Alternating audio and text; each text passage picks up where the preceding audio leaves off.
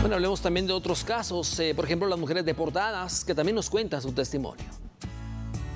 Una mujer originaria de Chiquimulía, Santa Rosa, junto a sus hijos, emprendió el viaje hacia los Estados Unidos para reunirse con su esposo y así poder tener una mejor condición de vida.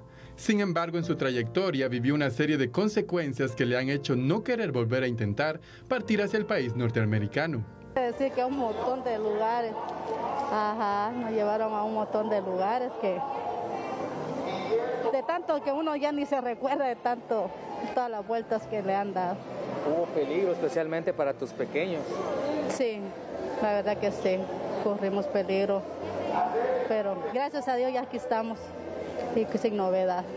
Claro, ¿desde dónde partes? Eh? ¿Para dónde voy? No, desde, sí, ¿desde dónde saliste? De Chiquimulía.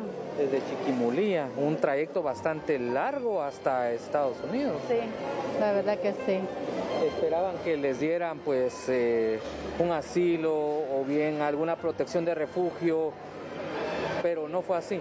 No, no, no nos dieron. Bueno, Dios sabrá por qué.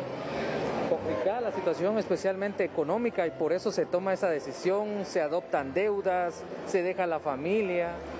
Sí, la verdad que sí, este, íbamos en, en busca de reunirnos con mi esposo, que él está allá, pero no nos dieron la oportunidad de podernos reencontrar y nos mandaron de regreso y aquí estamos.